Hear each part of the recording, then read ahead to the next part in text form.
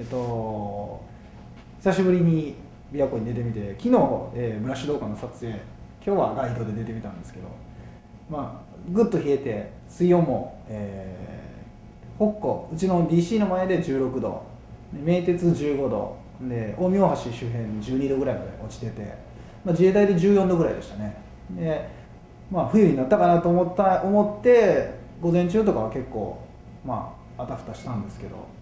冬っぽいボディオーダー絡みの 5m のとことかやってポロっていいサイズ釣れたりとかしてあやっぱ冬になったんやと思ったけど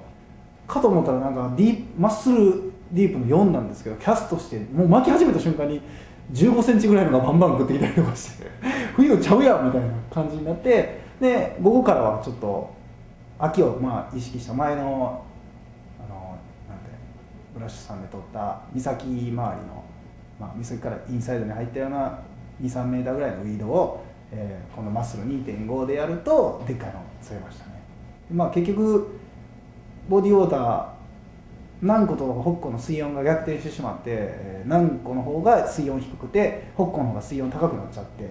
で北湖の暖かい水が流れてくる南湖のボディウォーターラインっていう冬のパターンとで、えー、秋になってまあ、その岬周りのウィードが減っていって岬からインサイドにバスが移動していく秋のパターンと、まあ、両方釣れたから、まあ、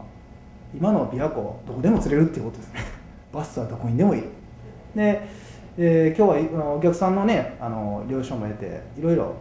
まあ、エリア開拓もしてみて、まあ、あのシャローもやってみたんですけど、えー、今日5ジャップ2本と4ジャップ6本とシャローで普通に泳いでるのがいました。で風が吹いてからスピナーベイトとかでやってみたんですけどやっぱ全く食わずで。ななんなんでしょうね、まあ、だから土砂牢にもいるし23メーターラインにもいるしで5メーターのボディウォーターにもいる、まあ、まさに、まあ、山は白くなって冬っぽいですけど琵琶湖のあ水の中は秋真っ盛りって感じでしたね。っていう、えー、今日の流しでした。